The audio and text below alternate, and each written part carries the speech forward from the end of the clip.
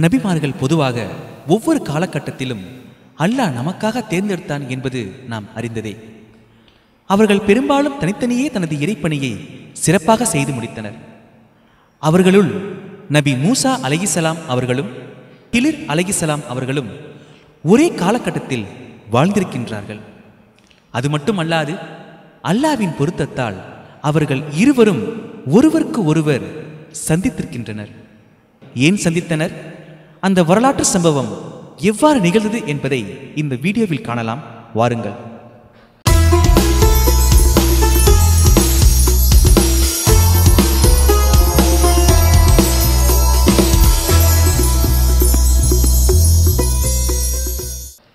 நபி மூசா அலைஹிசலாம் அவர்கள் ஒரு முறை உரை நிகழ்த்திக் கொண்டிருந்தார்கள். அவ்வுரையை கேட்டு மக்கள் அனைவரும் கண்ணீர் வடித்துக் கொண்டிருந்தனர். அந்த அளவிற்கு மிக உருக்கமாக உரை நிகழ்த்தினார் நபி மூசா அலகிசலாம் அவர்கள். அப்பொழுது இந்த உலகத்தில் யார் மிகவும் அறிந்தவர்? என்று கேட்கப்பட்ட பொழுது நபி மூசா அலகிசலாம் அவர்கள் தன்னையே குறிப்பிட்டுக் கொண்டார்கள். மூசா நபி அவர்கள் அவ்வாறு குறிப்பிட்டது இறைவனுக்கு விரும்பத்தக்கதாக இல்லை. இவ்வுலகில் எல்லாம் அறிந்தவன் இறைவன் ஒருவனே. எனவே அவரை கண்டித்தான் இறைவன். மேலும் இறைவன் இரு கடலும் சங்கமிக்கும் ஒரு இடத்தில் எனது அடியார் ஒருவர் இருக்கின்றார். அவர் உங்களை விட அறிந்தவர் என்று நபி மூசா அலகிசலாம் அவர்களிடம் இறைவன் தெரிவித்தான். இதை கேட்ட நபி மூசா அலகிசலாம் அவர்கள் தான் அவ்விடம் செல்ல வேண்டும் என்றும் அவரிடம் கற்றுக்கொள்ள வேண்டும் என்று இறைவனிடம் இறைஞ்சி மன்றாடினார்கள். அதற்கு இறைவன் அவரை எவ்வாறு சந்திக்கலாம் என்று கூறினார்கள். அதாவது மீன் சமைத்து அதை ஒரு தோல் பாத்திரத்தில் எடுத்துச் செல்லுங்கள். அந்த மீன் எங்கு காணாமல் போகின்றதோ அந்த இடத்தில் நீங்கள் அவரை கண்டுகொள்ளலாம் என்று அறிவித்தான் இறைவன். அவரை சந்திக்க தயாரானார் நபி மூசா அலகிசலாம் அவர்கள். இறைவன் கூறியது போலவே ஏற்பாடுகளை செய்து கொண்டு உதவியாருடன் தயாரானார்கள். அவர் பெயர் விஷவுனு இப்னு நான் அந்த இடத்தை அடைந்தே தீருவேன். இல்லையே காலம் முழுவதும் இதில் கழிப்பேன் என்று நபி மூசா அலகிசலாம் அவர்கள் தெரிவித்து புறப்பட்டார்கள் நீண்ட பிரயாணத்திற்கு பிறகு களைப்பால் ஒரு பாறை அருகே ஓய்வெடுத்தார்கள். அச்சமயம் அவர்கள் தோல்பையிலிருந்து சமைத்த மீன் ஒன்று உயிர் பெற்று கடலுக்குள் சென்று விடுகிறது. இதை நபி மூசா அலகிசலாம் அவர்களுடன் வந்த உதவியாளர் காண்கின்றார். நபி மூசா அலகிசலாம் எழுந்தவுடன் இதை தெரிவிக்க வேண்டும் என்று நினைக்கின்றார்கள். ஆனால் மறந்துவிட்டார். இந்த இடத்தில் நாம் அறிந்து கொள்ள வேண்டிய மிக முக்கியமான விஷயம் என்னவென்றால் நபி மூசா அலைஹிசலாம் அவர்கள் உதவியாளர் மறந்ததற்கு காரணம் ஷைத்தான். ஷைத்தான் அவரை மறக்கடித்தான். இரு தினங்களை கடந்து பிரயாணம் செய்தனர். அச்சமயம் மிக அதிக களைப்பு இருந்ததால் தன் உதவியாளரிடம் காலை உணவு கேட்கின்றார் நபி மூசா அலைஹிசலாம் அவர்கள். அப்பொழுதுதான் உதவியாளருக்கு நினைவுக்கு வந்தது மீன் உயிர் பெற்று கடலுக்குள் சென்ற சம்பவம். இதை நபி மூசா அலைஹிசலாம் அவர்களிடம் தெரிவித்தார்கள். அப்பொழுது நபி மூசா அலைஹிசலாம் அவர்கள் அவ்விடத்தில்தான் ஹிலிர் அலைஹிசலாம் அவர்கள் இருக்கின்றார்கள் என்று கூறி உடனே அவ்விடம் சென்றார்கள். மீண்டும் வந்த வழியே எவ்வித சலைப்பும் இன்றி திரும்பினார்கள்? இறுதியாக மீன் தவறிய இடத்தை அறிந்தார்கள். அவர்கள் அவ்விடத்தை அடைந்தவுடன் அப்பாறை அருகே ஒருவர் சாய்ந்த நிலையில் இருப்பதை கண்டார்கள். அவர்களிடம் நபி மூசா அலைஹிசலாம் அவர்கள் சலாம் கூறினார்கள். அதற்கு அவர் ஆச்சரியமுடன் சலாம் கூறுகிறீர்கள்? உங்கள் பூமியில் சலாம் கூறும் பழக்கம் இருக்கின்றதா? என்று கேள்வி எழுப்பினார். அதற்கு உடனே நபி மூசா அலைஹிசலாம் அவர்கள் நான் தான் மூசா என்றார்கள். இஸ்ரேவேலுக்கு அனுப்பப்பட்ட மூசாவா என்றார் ஹிலிர் அலகிசலாம் அவர்கள். அதற்கு நபி மூசா அலகிசலாம் அவர்கள் ஆம் என்றார்கள். பிறகு ஹிலிர் அலகிசலாம் அவர்களிடம் நபி மூசா அலகிசலாம் அவர்கள் உங்களுக்கு கற்பிக்கப்பட்ட அறிவிலிருந்து நான் கற்றுக்கொள்ளலாமா? உங்களை நான் தொடர்ந்து வரலாமா? என்றார்கள். உடனே ஹிலிர் அலகிசலாம் அவர்கள் முசாவே என்னிடம் பொறுமையாக இருக்க உங்களால் முடியாது என்றார்கள். அதாவது நான் எனக்கு அல்லாஹ் கற்றுத்தந்த அறிவுடன் இருக்கின்றேன். அது உங்களுக்கு தெரியாது. நீங்கள் உங்களுக்கு அல்லாஹ் கற்றுத்தந்த அறிவுடன் இருக்கின்றீர்கள். அது எனக்கு தெரியாது என்றார்கள். நான் பொறுமையாளனாக என்னை ஆக்கிக்கொண்டு உங்களிடம் இருந்து கற்றுக்கொள்வேன் என்றார்கள்.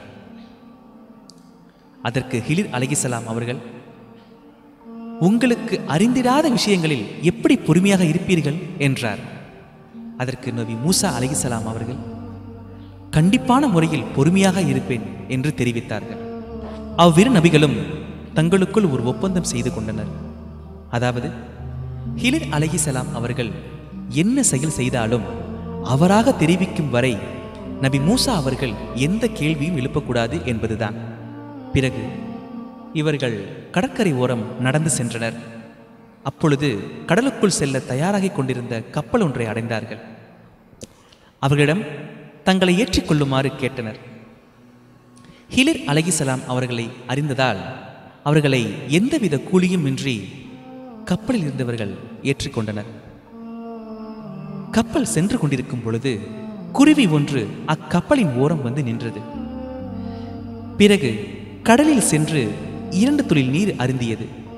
அப்பொழுது ஹிலிர் அலகிசலாம் அவர்கள் நம்முடைய அறிவு என்பது அல்லாவின் அறிவுடன் ஒப்பிடுகையில் இந்த இரு துளி நீருக்கு சமமே ஆகும் என்றார். இச்சம்பவம் நிகழ்ந்த பிறகு கப்பல் சென்று கொண்டிருக்கையில் ஹிலிர் அலகிசலாம் அவர்கள் அந்த கப்பலில் உள்ள ஒரு பலகையை உடைக்கின்றார்கள். இதை கண்ட நபி மூசா அலிகிசலாம் அவர்கள் ஆச்சரியமடைந்தார்கள். பொதுவாக நபி மூசா அலிகிசலாம் அவர்கள் அநியாயத்தை தட்டி கேட்பவர்களாகவே இருந்தார்கள். அதனால் உடனே ஹிலிர் அலகிசலாம் அவர்களிடம் எவ்வித கூலியும் இல்லாமல் இந்த கப்பலில் அனுமதித்தனர். அப்படி இருக்கையில் ஏன் இப்படி அவர்களுக்கு சேதம் விளைவிக்கும் வகையில் நடந்து கொள்கிறீர்கள்? என்று கேள்வி கேட்டார்கள். அதற்கு ஹிலில் அலகிசலாம் அவர்கள் நீங்கள் பொறுமையாக இருக்க மாட்டீர்கள் என்று நான் கூறினேனே என்றார்கள். உடனே நபி மூசா அலகிசலாம் அவர்கள் நான் மறந்துவிட்டேன். என்னிடம் எந்த குற்றமும் கண்டுபிடிக்க வேண்டாம். இதற்கு பிறகு நான் எந்த கேள்வியும் எழுப்ப மாட்டேன் என்று உறுதியளித்தார் நபி மூசா அலகிசலாம் அவர்கள். அச்சம்பவம் நிகழ்ந்த பிறகு ஒரு சமயம் அவர்கள் ஒரு இடத்தில் நடந்து சென்று கொண்டிருக்கும் பொழுது ஒரு சிறுவன் அங்கு விளையாடிக் கொண்டிருந்தான். அவனை கண்ட நபி ஹிலிர் அலகிசலாம் அவர்கள் தன் கையாலேயே அடித்து கொன்றார்கள். இதை கண்ட நபி மூசா அலகிசலாம் அவர்கள் துடிதுடித்து போனார்கள். ஒரு சிறுவனை ஏன் இப்படி கொலை செய்தீர்கள்? என்று கேள்வி எழுப்பினார். அதற்கு ஹிலிர் அலைகிசலாம் அவர்கள் நான் அப்பொழுது கூறினேனே உங்களுக்கு பொறுமையாக இருக்க முடியாது என்று இதை கேட்ட நபி மூசா அலகிசலாம் அவர்கள் இனி நான் உங்களிடம் எந்த கேள்வியும் எழுப்ப மாட்டேன். அப்படி நான் கேள்வி எழுப்பினால் நாம் இருவரும் பிரிந்து சென்று விடுவோம் என்று உறுதியளித்தார். அவர்கள் ஒரு ஊரை அடைந்தனர். பசி மிக அதிகமாக இருந்ததால் அவ்வூர் மக்களிடம் உணவு கேட்டார்கள். ஆனால் அவ்வூர் மக்கள் யாவரும் அவர்களுக்கு உதவவில்லை. இவ்வூருக்கு சென்றால் விருந்து கிடைக்காது என்று ஹிலிர் அலகிசலாம் அவர்கள் அறிந்திருக்கவில்லை. பிறகு அவ்வூரிலிருந்து செல்லும் முன் சாய்ந்து விழும் நிலையில் ஒரு சுவர் இருந்தது. இதை கண்ட ஹிலிர் அலகிசலாம் அவர்கள் அதை சரி செய்து விழாத வண்ணம் நிலைநிறுத்தினார்கள். இந்த செயலை கண்ட நபி மூசா அலகிசலாம் அவர்கள் தங்களுக்கு உதவாத மக்களுக்காக ஏன் இப்படி அப்பகுதியில் உள்ள சுவற்றை சரி செய்தீர்கள்? இதனால் தங்களுக்கு எந்த பயனும் இல்லையே என்று விரவினார் உடனே ஹிலிர் அலகிசலாம் அவர்கள் நாம் பிரிய வேண்டிய தருணம் வந்துவிட்டது. இதற்கு மேல் நாம் இருவரும் ஒன்றாக பயணிக்க முடியாது என்று தெரிவித்தார்கள். மேலும் தான் செய்த செயல்களின் காரணத்தை விளக்குவதாகவும் கூறினார் அதாவது இந்த மூன்று இடங்களிலும் தான் செய்த செயல்கள் அனைத்தும் நான் வேண்டுமென்றே செய்யவில்லை. இறைவன் தன்னிடம் இவ்வாறு செய்ய சொன்னதாக கூறினார் முதலில் கப்பலை சென்று கொண்டிருக்கும் பொழுது சேதம் விளைவித்தது என்ன காரணம் என்றால் அந்த கப்பல் ஒரு பகுதியை அடையும். அப்பகுதியில் இருக்கும் ஒரு கொடுங்கோல் மன்னன் எவ்வித சேதமும் இன்றி வரும் கப்பலை அபகரிக்கும் எண்ணத்தை கொண்டவனாக இருக்கின்றான். அதை தடுக்கும் பொருட்டும் கப்பலை பாதுகாக்கும் பொருட்டும் கப்பலின் ஒரு சிறு பகுதியை உடைத்ததாக விளக்கம் தெரிவித்தார்கள். இரண்டாவதாக ஒரு சிறுவனை அடித்து கொலை செய்ததன் காரணத்தை கூறுகிறார்கள். அச்சிறுவன் பிற்காலத்தில் வளர்ந்து வந்திருப்பானாயின் தன் பெற்றோரையே அநியாயம் செய்திருப்பான். அவன் அவ்வாறே படைக்கப்பட்டிருக்கின்றான். அது தடுக்கும் பொருட்டுதான் இவ்வாறு செய்ததாக கூறினார்கள். மூன்றாவதாக தனக்கு விருந்து தராத மக்களை கொண்ட ஊரில் இருந்த சுவற்றை நிலைநிறுத்தியதன் காரணத்தை கூறுகின்றார். அதாவது அச்சுவற்றின் கீழே ஒரு பொக்கிஷம் ஒன்று உள்ளது அதாவது புதையல். அந்த புதையல் இரண்டு அனாதைகளுக்கு கிடைக்க வேண்டும். அவர்களின் தந்தை ஒரு சிறந்த மனிதர் ஆவார். அதனால் அவ்விருவருக்கும் அந்த பொக்கிஷம் கிடைக்க வேண்டும். அவ்வூர் மக்களுக்கு அந்த பொக்கிஷத்தை கிடைக்காத வண்ணம் அந்த சுவற்றை தான் சரி செய்ததாக விளக்கம் தெரிவித்தார்கள். கிலிர் அலகிசலாம் அவர்கள். மீண்டும் அவர்கள் கூறினார்கள் இவை அனைத்தும் நான் செய்தது அல்லாவின் கட்டளையினால்தான். பின்னர் நபி மூசா அலகிசலாம் அவர்களும் கிலிர் அலகிசலாம் அவர்களும் பிரிந்து வெவ்வேறு திசை பயணமானார்கள்.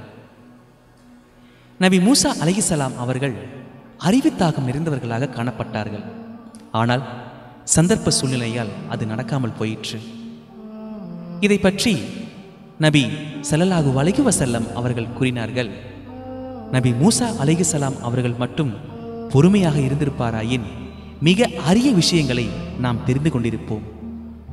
அன்பார்ந்த சகோதர சகோதரிகளே இந்த நிகழ்வின் மூலம் நாம் அறிந்து கொள்ளும் படிப்பினை என்னவென்றால் நபி மூசா அலகிசலாம் அவர்கள் இந்த உலகில் எல்லாம் அறிந்தவன் தான் மட்டுமே என்ற எண்ணத்தில் இருந்தார்கள். அவருக்கு பாடம் கற்பிக்கும் வகையில் நபி ஹிலிர் அலகிசலாம் மூலம் அவர்கள் படிப்பினை தந்தார். நம்மில் பலருக்கு நமக்குத்தான் எல்லா விஷயங்களும் தெரியும் என்ற எண்ணத்தில் வாழ்ந்து வருகின்றோம். இந்த உலகில் எல்லாம் அறிந்தவன் இறைவன் ஒருவனே. அறிவை கொடுத்தவன் இறைவன் அறிவை படைத்தவனும் இறைவன். நாம் ஒவ்வொருவருக்கும் அறிவுத்தாகம் என்பது இருந்தே தீர வேண்டும். எந்த நேரத்திலும் எவ்வித கர்வமும் இன்றி வாழ முயற்சிக்க வேண்டும். நமக்கு தேவைப்படும் அறிவினை அல்லாஹ் நமக்கு தந்து பாதுகாப்பானாக. இந்த வீடியோவை பற்றிய தங்களது கருத்துக்களை எங்களுக்கு தெரியப்படுத்துங்கள். மேலும் இது போன்ற ஒரு நல்ல வீடியோவில் உங்களை சந்திக்கின்றோம். இன்ஷா அல்லாஹ்.